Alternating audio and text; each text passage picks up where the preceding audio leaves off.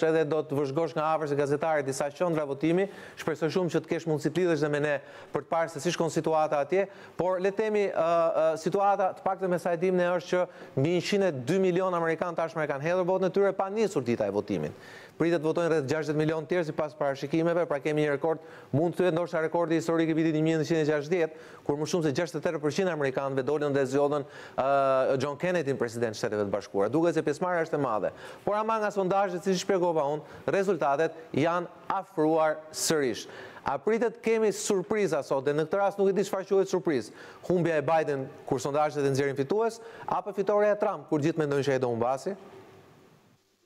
Po humbja e zotit Biden do të ishte fitorja e zotit Trump, kështu që gjithçka pritet dhe kjo ka të bëjë me faktin e mobilizimit të madh të votuesve amerikanë, por edhe me atë që ju e shpjeguat pak më parë se si funksionon sistemi amerikan dhe se në sa pak shtete është përqendruar çelësi i fitores së këtyre zgjedhjeve. Vërtet që numri i votuesve ka qenë një numër rekord, mbi njëqind milionë kanë votuar para se të gdhihej tre nëntori, para se të gdhihej dita e sotme, duke përbërë shtatëdhjetë për qind të gjithë shifrës së përgjithshme të para katër viteve. Numri i atyre që do të votojnë sot do të përcaktojë shumëçka. Një nga arsyet mund të jetë sepse demokratët kishin më shumë prirje që të votonin me post ose në votimet e hershme dhe mhm. republikanët kishin pak më shumë prirje që të prisnin gjer sot. Një arsye tjetër që mund të ketë surpriza është pikërisht fakti se në ç'kushte po zhvillohen këto zgjedhje. Në fakt është për është për t'u admiruar fakti që me kaq shumë pengesa sa pati gjatë kësaj periudhe pandemie, pengesa logjistike, shqetësime shëndeti, çdo lloj problemi tjetër, numri i votuesve është i madh. Po rezultati do të varet për shembull nga fakti se si do të shkojnë votimet në Pensilvani, si do të shkojnë në Florida apo në Arizona, në Karolinën e Veriut, në ato shtete ku në fakt diferenca mes dy kandidatëve është mjaft e vogël. Dhe një shqetësim tjetër sigurisht është edhe fakti që nuk do të merren dot vesh rezultatet e votimit sot. Mund të kemi një rezultat në disa shtete për shembull që mund të përmbyset nesër pasnesër pasi të numërohen votat si në Pensilvani për shembull që nuk lejohej që të numëroheshin votat deri sot. Kështu që çdo gjë mund të ndryshojë dhe mund ta ndryshojë atë kalkulimin si të thuash si për rezultatet si për faktin se Kush do të fitojë në këto zgjedhje, siç thatë ju, historike? Dhe në fakt, te Pensilvania është një fakt interesant, pasi Pensilvania për herë të parë përballet me votimin me postë, apo jo, nëse unë s'gaboj, dhe këtu ka pasur dhe ndërhyrje, ndërhyrje të avokatëve të presidentit Trump dhe të Shtëpisë Bardhë për ta penguar atë që atë që ju thatë pak më parë. Ka patur dhe ndërhyrje të tjera si në Texas, pa sukses në Wisconsin, me sukses ku është, është janë penguar disa procedura dhe shumë kritikë të Presidentit Trump thonë një pjesëmarrje e lartë. Dy fakti që avokatët e tij kanë ndërhyrë paraprakisht dhe pritet të ndërhyjnë sërisht vërtetojnë diçka, se Trump i druhet një humbjeje dhe po ndërhyn për të penguar amerikanët të votojnë të lirshëm. A është ky konstatim i saktë? Është një një konstatim, nuk e di nëse mund të them i saktë, po mund të them që është e pranueshme që presidenti Donald Trump po i bën të gjitha përpjekjet pra që të ta vendosë veten në avantazh. Të paktën nga ajo që ka thënë ai, ai ka shprehur një pakënaqësi dhe një si farë padurimi që pse të mos merren vesh rezultatet e zgjedhjeve që sot. Sigurisht një farë nervozizmi për faktin se sa afër është ai me rivalin e tij demokrat në mhm. Pensilvani. Ëh, një si të thuash është një mungesë dëshira për të pasur surpriza që mund të jenë të pakëndshme për të.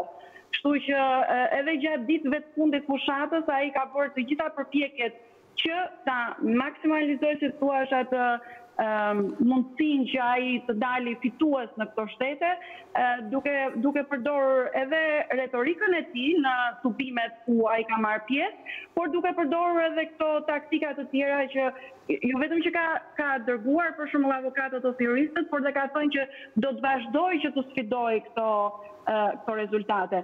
Është edhe diçka që fakti që rezultatet mund të jenë sa më afër të jetë rezultati, aq më shumë shtohet mundësia për t'i sfiduar këto rezultate.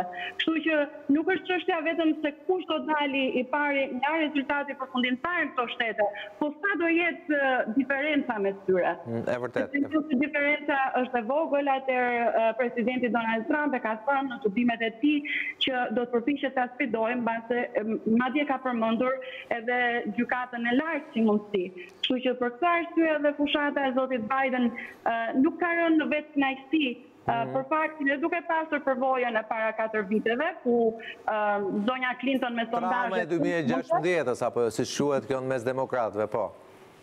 Po, domethënë duke pasur parasysh që nuk nuk duan pra që të të, të krijohet po e njëjta situatë dhe duke pasur parasysh edhe se sa pak sa e vogël është kjo diferencë mm. në këto shtete të rëndësishme dhe atë pjesën tjetër, faktorin tjetër që Në shumicën e shteteve amerikane, meqenëse votimi nuk është i drejtpërdrejtë, por është përmes kolegjit elektoral, edhe në qoftë se një kandidat fiton me një diferencë shumë të vogël votash, aq mjafton për të marrë të gjitha votat elektorale, për shembull. Florida që është një shtet ku kanë bërë fushata të ashpër të dy kandidatët, ka njëzet e shtatë vota elektorale. Një diferencë e vogël, siç ndodhi me zonjën Clinton dhe me zotin Trump, një fitore e lehtë për shembull, mjafton që dikush të marrë njëzet e shtatë vota elektorale, e njëjta gjë vlen për Pensilvaninë. Okej, dhe dhe dhe dhe dhe kjo Greta e ka tensionuar situatën, kemi parë dje Shtëpia e Bardhë është rrethuar me një mur apo jo, me një mur të pakapërcyeshëm siç siç siç quhet ndryshe që ndodh për herë të parë, unë thash Kam ndjekur së paku në dy raste zgjedhjet amerikane dhe momente të rëndësishme. Nuk kam parë atë që kam parë dje në ekranet televizive, pra një mur i lartë i pakapërcyeshëm ndaj ndaj protestuesve të mundshëm. Shtëpia e Bardhë ka shpallur një një një parti apo jo në pritje të rezultateve me dyqind e pesëdhjetë me dyqind e pesëdhjetë të ftuar nga katërqind që ishte parashikuar. Kjo për shkak të situatës Covid-it zyrtarisht, po mund të jetë edhe për shkak të faktit që zoti Trump sot Ka lënë të kuptojë që mund të ketë festë, po mund edhe mos ketë festë, pasi fitorja është e vështirë në telefonatën e tij me Fox News. Por tek çështja e sigurisë, dhe kjo është pyetja e fundit që të bëj, ka shumë të dhëna që Shtetet e Bashkuara mund të ndeshen me protesta sporadike që mund të shkojnë deri në të themi mosbindje civile apo përplasje civile, disa supermarkete apo dyqane i tërhoqën armët dhe armatimet, siç e dimë në Amerikë është legale, në shumicën e shteteve të blesh armë e të zotërosh një armë, ndërkohë që shumë biznese i kanë mbyllur, i kanë mbyllur, themi, i kanë ulur qepenat. Pra sa e mundur është një skenar i tillë, sa i mundur është një skenar i tillë që Shtetet e Bashkuara të kalojnë në një trazirë sociale, cilido të jetë fituesi i zgjedhjeve nesër?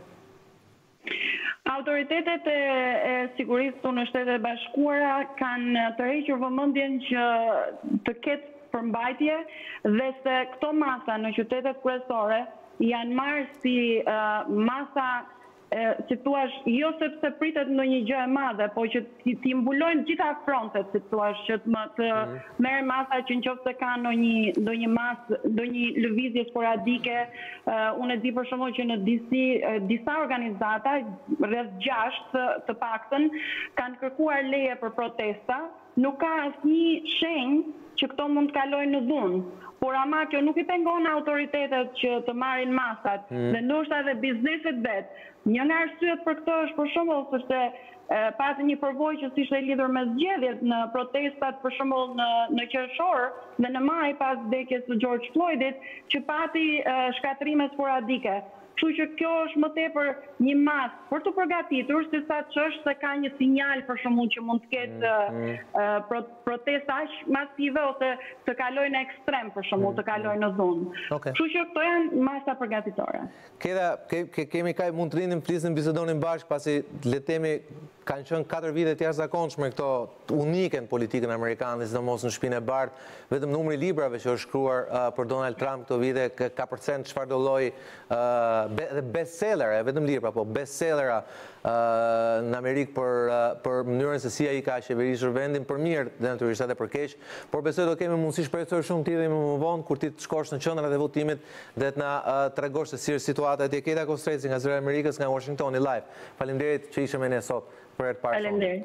Ndërkohë ndërkohë ne do të ndjekim transmetimet live kryesisht përmes CNN-it dhe rrjeteve të tjera amerikane, por unë do doja të prezantoja katër të ftuarit e mi të parë sot Frrok Çupi,